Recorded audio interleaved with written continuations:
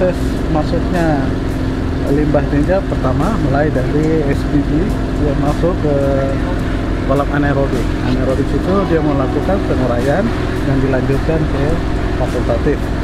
Di fakultatif ini uh, dia akan melakukan penguraian juga sehingga dilanjutkan ke kolam terakhir yaitu kolam maturasi yang di mana nanti akan dilanjutkan ke kolam wetland dan disaring sehingga uh, proses uh, proses penyaringan dan proses baku mutu itu akan berjalan sesuai dengan uh, standar baku mutu yang uh, direkomendasikan oleh Undang-Undang LH nomor 20, tahun 2017.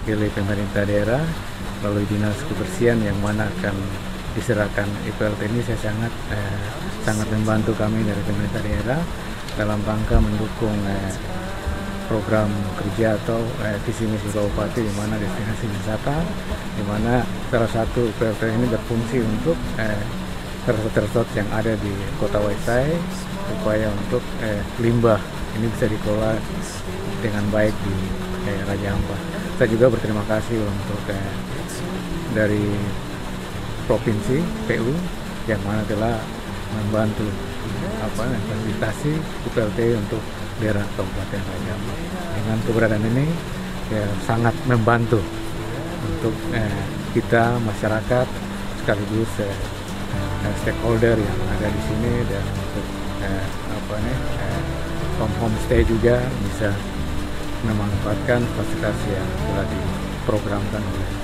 Kementerian PU. Mungkin itu dari kami. Saya sekali lagi mengucapkan banyak terima kasih. Take a step back to see the truth